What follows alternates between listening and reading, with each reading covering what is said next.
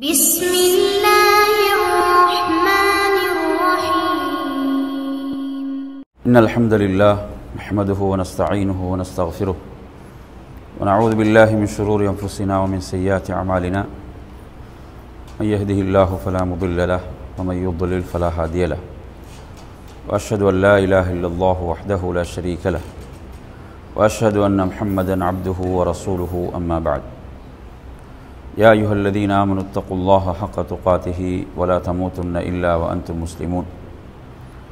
يا أيها الناس اتقوا ربكم الذي خلقكم من نفس واحدة وخلق منها زوجها وبث منهما رجالا كثيرا ونساء واتقوا الله الذي تساءلون به والأرحام إن الله كان عليكم رقيبا. يا أيها الذين آمنوا اتقوا الله وقولوا قولا سديدا. يصلح لكم أعمالكم ويغفر لكم ذنوبكم ومن يطع الله ورسوله فقد فاز فوزا عظيما فإن أصدق الحديث كتاب الله وخير الهدي هدي محمد صلى الله عليه وسلم وشر الأمور محدثاتها وكل محدثة بدعة وكل بدعة ضلالة وكل ضلالة في النار அன்பிற்குரிய என் அருமை சகோதரர்களே புனிதமிகு ரமதானுடைய மாதம் இன்னும் சில நாட்களில் நம்மை வந்தடையவிருக்கிறது. நன்மைகள் பூத்து குலுங்கும் ரமதானை வரவேற்பதற்காக நாம் எந்த அளவு நம்மை தயார்படுத்தி இருக்கிறோம் என்பதைத்தான் இந்த உரையினூடாக உங்களுக்கு நினைவூட்ட ஆசைப்படுகிறேன். அல்லாஹு தாலா நம்மீது கொண்ட பேரருளின் காரணத்தால் இவ்வாறான சிறப்பான காலங்களை நமக்கு வழங்கி கொண்டிருக்கிறான். இவ்வாறான சிறப்புமிகு காலங்கள் நமக்கு வழங்கப்படுவது நாம் குறைவான அமல்களின் மூலம் அதிகமான நன்மைகளை அந்தஸ்துகளை அடைந்து கொள்வதற்காக. குறைவான அமல்கள் என்று சொல்லும்போது நாம் குறைவாக அமல் செய்வதென்பதல்ல. மாறாக அல்லாஹு தாலா அந்த மாதத்தில் நாம் செய்யக்கூடிய அமல்களுக்கு நிறைய சிறப்புகளை வைத்திருக்கிறான். ரமதானுக்கு நம்மை நாம் தயார்படுத்துவதில் முதல் விடயமாக உங்களுக்கு நான் நினைவூட்ட ஆசைப்படுவது நாம் அனைவரும் தூய்மையான உள்ளத்தோடு அல்லாவிடம் கேட்க வேண்டிய ஒரு துவா ஒரு பிரார்த்தனை தான் யா அல்லா நாம் உடல் ஆரோக்கியத்தோடும் தேக ஆரோக்கியத்தோடும் இந்த ரமதானை நாம் அடைந்து ரமதானுடைய மாதத்தில் அதிகம் அதிகம் நல்லமல்களை இபாதத்துகளை செய்து உனது நெருக்கத்தை பெற்ற அடியார்களாக நாம் மாற வேண்டும் என்ற துஆவை நாம் ஒவ்வொருவரும் செய்ய வேண்டும். துஆ என்பது ஒரு மூமினுடைய ஆயுதமாக இருந்து கொண்டிருக்கிறது.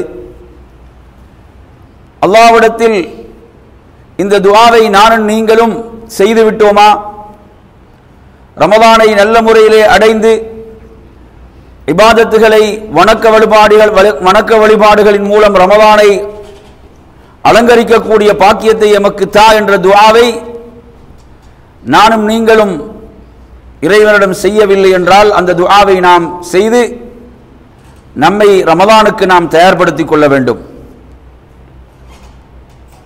இரண்டாவது நறுமை சகோதரர்களே நாம் தூய்மையான உள்ளத்தோடு ரமதானை வரவேற்க தயாராக வேண்டும்.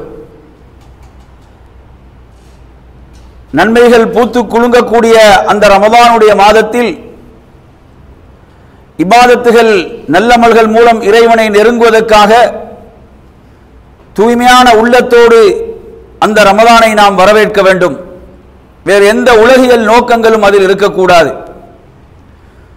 ரமதானில் ரமதான் மாதம் வந்துவிட்டால் நமது டியூட்டி ஆறவராக ஆகிவிடும் இரண்டு மணி நேரங்கள் குறைந்துவிடும் என்பதற்காக நாம் ரமதானை எதிர்பார்த்திருப்பதல்ல. அல்லது வேறு வேறு உலகியல் லாபங்களுக்காக நாம் ரமதானை எதிர்பார்ப்பதல்ல.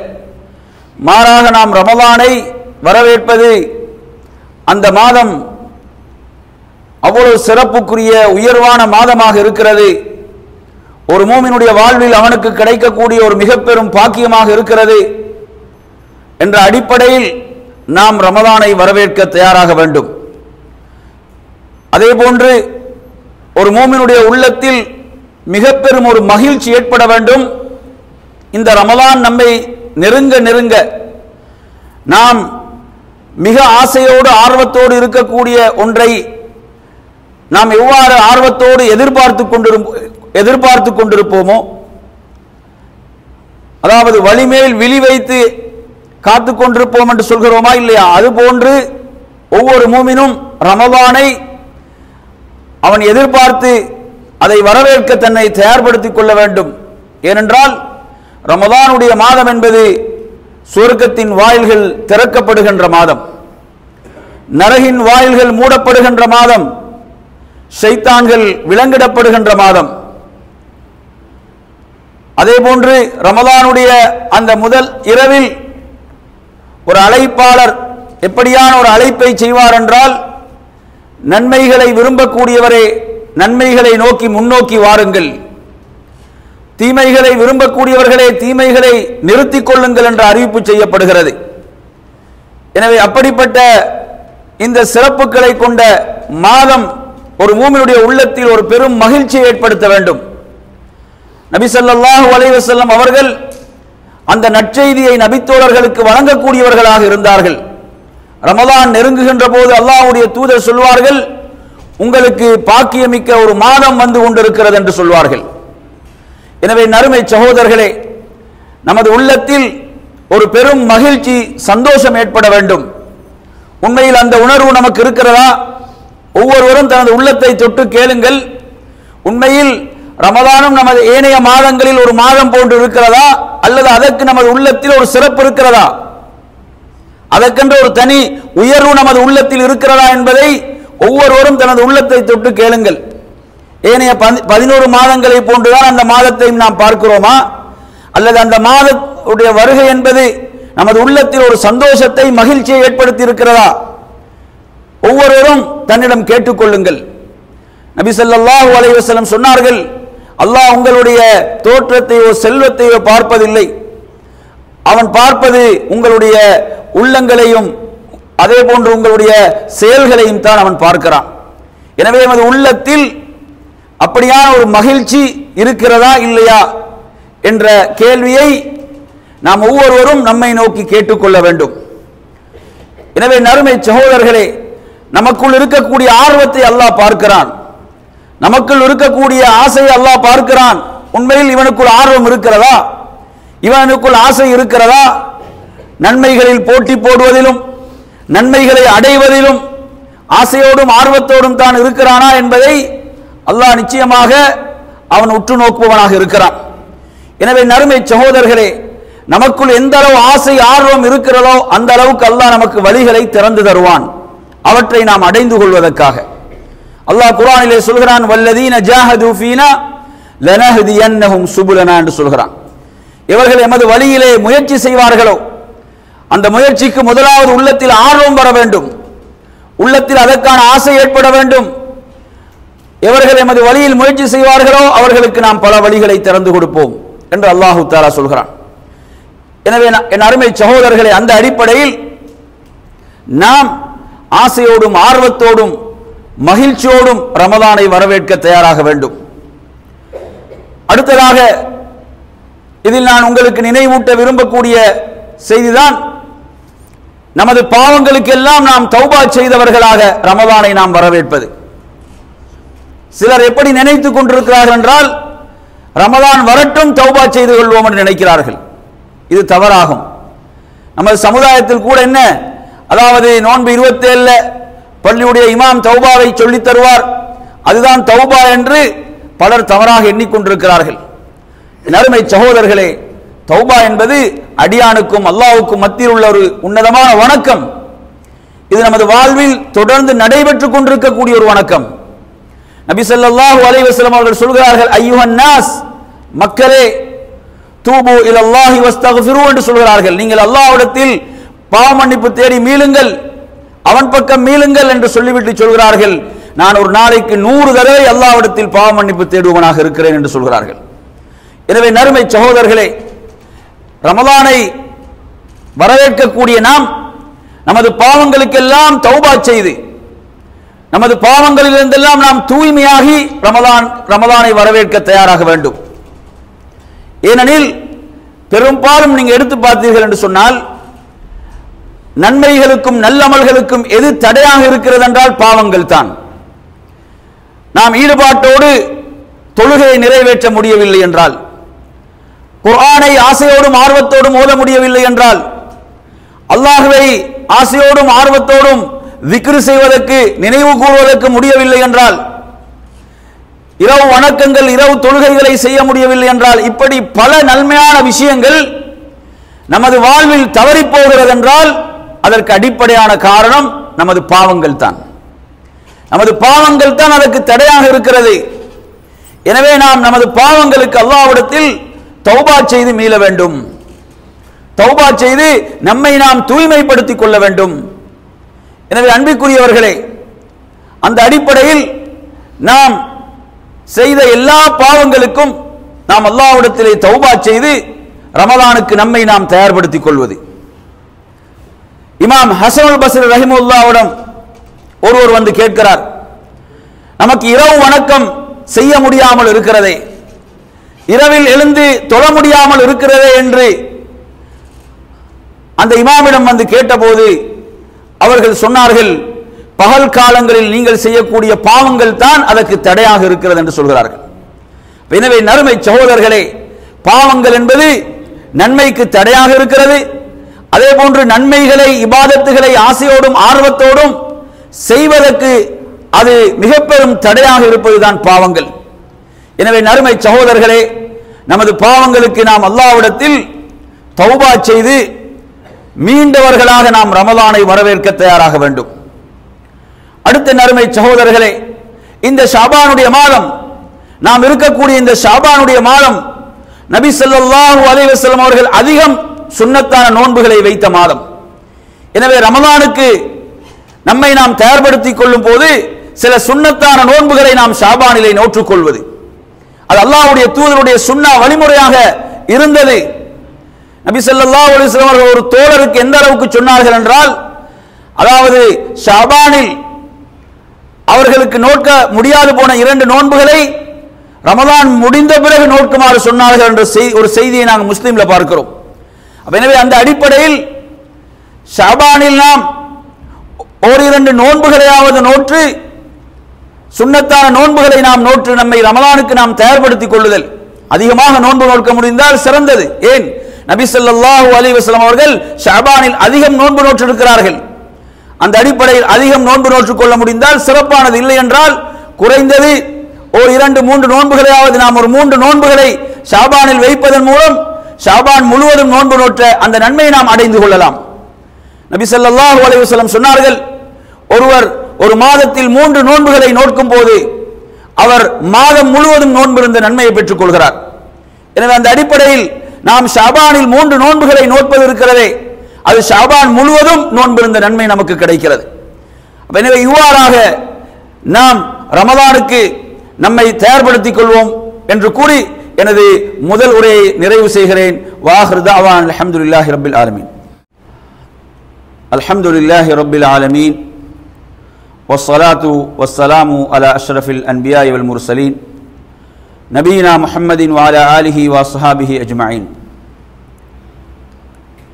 أما بعد அன்பிற்குரியவர்களே ரமதானுக்கு நம்மை நாம் தயார்படுத்திக் கொள்வதில் உள்ள வழிகாட்டல்களில் அடுத்ததாக மிக முக்கியமான ஒரு வழிகாட்டல் தான் நாம் ரமதானோடு தொடர்படுத்தி இருக்கக்கூடிய சட்டத்திட்டங்களை பற்றி நாம் அறிந்து கொள்ளுதல். நோன்பென்ற இபாதத் வணக்கம் இந்த ரமதானில் மிக முக்கியமான இபாதத்தாக வணக்கமாக இருந்து கொண்டிருக்கிறது. நபிசல்லாஹு அலைவசம் அவர்கள் சொன்னார்கள் அஃபலு சியாமி பஅத ரமதானி ஷஹருல்லாஹில் முஹர்ரம் என்றார்கள். ரமதானுக்கு பிறகு சிறந்த நோன்பு. அப்படி எனவே நோன்புகளிலே மிகச் சிறந்தது ரமதானில் நோட்கப்படும் நோன்பாகும். அல்லாவுடைய தூதர் ஸல்லல்லாஹு சொன்னார்கள் ரமதானுக்கு பிறகு சிறந்த நோன்பு முஹர்ரம் மாதம் நோட்கப்படும் நோன்பு என்று சொன்னார்கள். ரமதானுடைய நோன்பு கடமையாக்கப்படுவதற்கு முன்னால் முஹர்ரம் மாதத்துடைய பத்தாவது நாள் நோன்பு கடமையாக்கப்பட்டிருந்தது. ஹிஜ்ரி இரண்டில் ரமதான் ரமதானுடைய நோன்பு கடமையாக்கப்பட்டவுடன் அந்த முஹர்ரம் மாதத்துடைய பத்தாவது நோன்பு சுண்ணத்தாக்கப்பட்டு விட்டது. இதில் நாம் இந்த ஹதீஸிலிருந்து விளங்க வேண்டிய விஷயம் என்ன? நோன்புகளிலே மிகச் சிறந்தது ரமதான் மாதத்துடைய நோன்பு. அதற்கு பிறகுதான் ஏனைய நோன்புகள். அப்ப எனவே நாம் நோன்பென்ற வணக்கத்தை பற்றிய சட்டதிட்டங்களை நாம் அறிந்து கொள்வது. நோன்பை முறிக்கக்கூடிய காரியங்கள் என்ன? ஒரு நோன்பாளி செய்ய வேண்டிய காரியங்கள் என்ன? செய்யக்கூடாத காரியங்கள் என்ன? ஒரு நோன்பாளியுடைய அந்த நோன்பின் நன்மைகளை எவ- எவ- எது- எவைகளெல்லாம் பால்படுத்தும்? அந்த ந- நன்மைகளை குறைக்கக்கூடிய அவ்வாறான செயல்கள் என்ன? நோன்பில் உள்ள சலுகைகள் என்ன? இவ்வாறாக நோன்புடைய சட்டதிட்டங்கள் இதை பற்றி நாம் ஒரு ஒரு இல்மை ஒரு அறிவை நாம் பெற்றுக்கொள்ளுதல் அல்லாஹ் நம் மீது ஒரு நோ- ஒரு ஒரு அமலை ஒரு வணக்கத்தை அல்லாஹ் நம் மீது கடமையாக்கி இருக்கிறான் என்றால் அந்த வணக்கத்தை நாம் எவ்வாறு நிறைவேற்றுவது நம் மீது கடமையோ அதுபோன்று அந்த வணக்கத்தை நாம் கற்றுக்கொள்வது நம் மீது கடமை. அதை பற்றி நாம் தெரிந்து அதை கற்று விளங்கி செய்வதும் கடமை. எனவே நோன்பு நம் மீது ரமதானில் கடமையாக்கப்பட்டிருக்கிறது என்றால் அதை பற்றி நாம் கற்றுக்கொள்ள வேண்டும். அதனுடைய சட்டதிட்டங்களை நாம் தெரிந்து கொள்ள வேண்டும். இன்னும் நமது சமுதாயத்தில் நவைத்து சௌமகதீன் என்று சொல்லக்கூடியவர்கள் இருக்கிறார்கள். நபி அவர்கள் இப்படியான ஒரு வழிகாட்டலை த- காட்டினார்களா? நீயத்துக்குரிய இடம் உள்ளமாக இருக்கிறது. வணக்கத்துடைய ஆரம்பமே பிழையாக இருக்கிறது. வணக்கத்துடைய ஆரம்பமே என்ன? சுண்ணாவுக்கு மாற்றமாக இருக்கிறது. நீயத்தை வாயால் மொழிவதற்கு அல்லாவுடைய தூதர் வழிகாட்டவில்லை. அல்லாஹ்வுடைய தூதர் சொல்லித் தரவில்லை. ஆனா இன்னும் நமது சமுதாயம் நவைத்து சௌமகதின் என்று சொல்லிக் கொண்டிருக்கிறதா இல்லையா? எனவே ஒரு ஒரு இபாதத்தை நாம் அல்லாவுடைய தூதர் எப்படி செய்தார்கள்? அல்லாவுடைய தூதர் எப்படி செய்தார்களோ அப்படி அதை நிறைவேற்ற வேண்டும். அதை கற்றுக்கொள்ள வேண்டும்.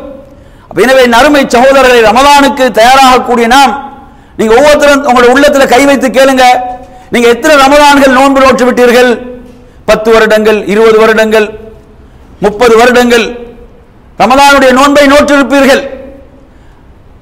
அதாவது நபி ஸல்லல்லாஹு அலைஹி அவர்கள் ரமதானுடைய நோன்பை இவ்வாறு தான் நோற்றார்கள். அதனுடைய சட்டதிட்டங்களை பற்றி ஏதாவது ஒரு புத்தகம் படித்திருக்கிறீர்களா? ஏதாவது ஒரு புத்தகம்? நபி அவர்களுடைய நோன்பின் முறை இப்படித்தான் இருந்தது. நோன்புடைய சட்டத்திட்டங்களை உள்ளடக்கி ஆதாரப்பூர்வமான ஒரு புத்தகத்தை உங்களுடைய வாழ்நாளில் நீங்கள் படித்திருக்கிறீர்களா? அது அது தொடர்பான சட்டத்திட்டங்களை உடைய உரைகளை நீங்கள் முறையாக செய்மடுத்திருக்கிறீர்களா? என்ற கேள்வியை நாம் நம்மை நோக்கி கேட்டுக்கொள்ள வேண்டும். அப்ப எனவே நாம் அதை கற்றுக்கொள்ள வேண்டும். அதனுடைய சட்டத்திட்டங்களை விளங்க வேண்டும். ஒரு இபாதத்தை நாம் செய்வதற்கு முன்னால் அது பற்றிய விளக்கம் நம்மிடம் இருக்க வேண்டும். ஏன் நீங்கள் இதை செய்கிறீர்கள்? ஏன் நீங்கள் இதை செய்யவில்லை? என்ற விளக்கம் நோன்போ நோன்போடு தொடர்படுத்தி நிறைய சட்டத்திட்டங்கள் உள்ளன. அவற்றை நாம் கற்றுக்கொள்ள வேண்டும். அது நம்மோடு நாம் அதை சுருக்கி விடாமல் நமது மனைவி பிள்ளைகளுக்கும் அவற்றை கற்றுக் கொடுக்க வேண்டும். அவர்களையும் அதற்கு ஆர்வப்படுத்த வேண்டும். எனவே நறுமையான சகோதரர்களே இப்படியாக அதே போன்று ரமதானுடைய காலம் என்பது அல்லாஹ் சொல்வது போன்று ஐயாமம் மதூதாத் அது எண்ணப்பட்ட நாட்கள். மிக வேகமாக அந்த நாட்கள் நம்மை விட்டு நகர்ந்து விடும். எனவே நாம் அந்த 29 அல்லது முப்பது நாட்கள் 720 இருபது மணி நேரங்களை நாம் சரியாக திட்டமிட வேண்டும். அதை சரியாக திட்டமிட்டு நாம் வீணான தேவையற்ற காரியங்களை எல்லாம் அந்த மாதத்தில் அவைகளை விட்டு நாம் விலகி தூரமாகி சரியாக முறையாக ஒரு நோன்பாளி என்ற அடிப்படையில் அந்த நோன்புடைய அந்த நாட்களை அதனுடைய பகல் பொழுதை இரவை நாம் சரியாக திட்டமிட்டு நேரங்களை எவ்வளவு பயனுள்ள முறையில் இறை நெருக்கத்தை பெறக்கூடிய முறையில் கழிக்க முடியுமோ அவ்வளவுக்கு நாம் அதற்கு ஆர்வத்தையும் முக்கியத்துவத்தையும் கொடுக்க வேண்டும். அந்த மாதத்தில் ஒரு ஒரு நிமிடத்தை நான் வீணாக கழித்துவிடக் கூடாது என்ற ஒரு உறுதியை நாம் எடுத்துக்கொள்ள வேண்டும். அப்படியான ஒரு உறுதி அந்த ஒரு உறுதியை நாம் எடுத்துக்கொள்ள வேண்டும். அதே போன்று ரமதானுடைய இரவு காலங்கள் இரவு வணக்கத்தில் குரானை அதிகமாக ஓதுவது போன்ற இபாதத்துகளில் நாம் அந்த அதனுடைய இரவுகளை நாம் சரியாக முறையாக திட்டமிட வேண்டும். இந்த அமல்களுக்கும் விவாதத்துகளுக்கும் எவைகள் எல்லாம் தடையாக இருக்குமோ அந்த தடைகளை விட்டு நாம் தூரமாக வேண்டும். நாம் பயன்படுத்தக்கூடிய இந்த சோசியல் மீடியாக்கள் பேஸ்புக்காக இருக்கலாம் வாட்ஸ்அப்பாக இருக்கலாம் மற்ற மற்றவைகளாக இருக்கலாம் இவைகளில் நமது நேரங்கள் வீணாகுமாக இருந்தால் இவைகள் நமக்கு இபாதத்துக்கு தடையாக இருக்குமாக இருந்தால் அவற்றை விட்டு நாம் தூரமாக வேண்டும். நமது நேரங்களை நாம் சரியாக திட்டமிட வேண்டும். உண்மையான ஒரு புத்திசாலி யார் என்றால் அவன் மறுமைக்காக இந்த உலகத்தை பயன்படுத்துகிறான் என்றால் மறுமையுடைய வெற்றிக்காக மறுமையுடைய சுபீட்சத்துக்காக இந்த உலக வாழ்வை அவன் அவன் பயன்படுத்துவானாக இருந்தால் அவன் நிச்சயமாக உண்மையான ஒரு அறிவாளியாக புத்திசாலியாக இருக்கிறான். எனவே அதற்கு ஒரு சிறந்த காலம்தான் ரமதானுடைய முப்பது நாட்கள் அல்லது 29 நாட்கள். எனவே நறுமை சகோதரர்களே அந்த மாதம் நம்மை விட்டு விடைபெறும் போது நாம் தக்குவாவுடையவர்களாக இறை நெருக்கத்தை பெற்றவர்களாக அந்த மாதத்தை நல்ல முறையிலே பயன்படுத்தியவர்களாக நம்மை நாம் ஆக்கிக் கொள்வதோடு அதே போன்று நாம் எடுக்கக்கூடிய உறுதிகள் அர்த்தமற்ற உறுதிகளாக இல்லாமல் சரியாக திட்டமிட்டு நமது ஆர்வங்களை ஆசைகளை நாம் சரியாக நிர்வகித்து நாம் செயல்படக்கூடியவர்களாக. சில பொழுதுகளில் ஒரு இபாதத்தில் நமக்கு சோர்வு ஏற்பட்டால் இன்னொரு இபாதத்துக்கு நாம் உதாரணமாக இரவில் தொழுகிறோம் தொழுது கொண்டிருக்கின்ற போது நமக்கு சோர்வு வருகிறதா? அல் குர்ஆனை ஓதுவது அல்லாஹ்விடம் துவா செய்வது அல்லாஹுவை திக்ரு செய்வது. இப்படி ஏனைய இபாதத்துகளுக்கு நம்மை நாம் மாற்றிக்கொள்ள வேண்டும். சோர்வு என்பது ஏற்படும். சோர்வு ஏற்படும் போது அதே இபாதத்தில் நாம் கண்டினியூ பண்ண வேண்டும் என்பது அல்ல இன்னொரு இபாதத்துக்கு நம் நம்மை நாம் மாற்றிக்கொள்ளலாம். எனவே இவ்வாறாக என் அருமை சகோதரர்களே இந்த ரமலானுடைய காலத்தை நல்ல முறையில் நாம் திட்டமிடக்கூடியவர்களாக நாம் நம்மை ஆக்கிக் கொள்வதோடு அதற்கான ஒரு சரியான திட்டமிடல் நம்மிடம் இருக்க வேண்டும். அந்த ஒவ்வொரு நாளும் அந்த ரமலானுடைய ஒவ்வொரு நொடியும் நிமிடமும் மிக பெருமதியாக ஒரு மூமினுடைய வாழ்வில இருந்து கொண்டிருக்கிறது. சென்ற ரமலானிலே உயிரோடு இருந்த பலர் நம்மிடம் இப்போது உயிரோடு இல்லை. எனவே நமது நிலைகள் நாம் இந்த ரமலானை அடைவோமா என்று நமக்கு தெரியாது. அல்லாவிடம் நாம் அதற்காக துவா செய்ய வேண்டும். அதே போன்று நாம் அடைந்த ரமலானை நல்ல முறையிலே பயன்படுத்தக்கூடியவர்களாக அல்லாஹ் நம்மை ஆக்கி அருள்வானாக என்று கூறி எனது இரண்டாவது உரையை நிறைவு செய்கிறேன். வாஹிர் தவான் அலமதுல்லாஹி ரபில் ஆலமி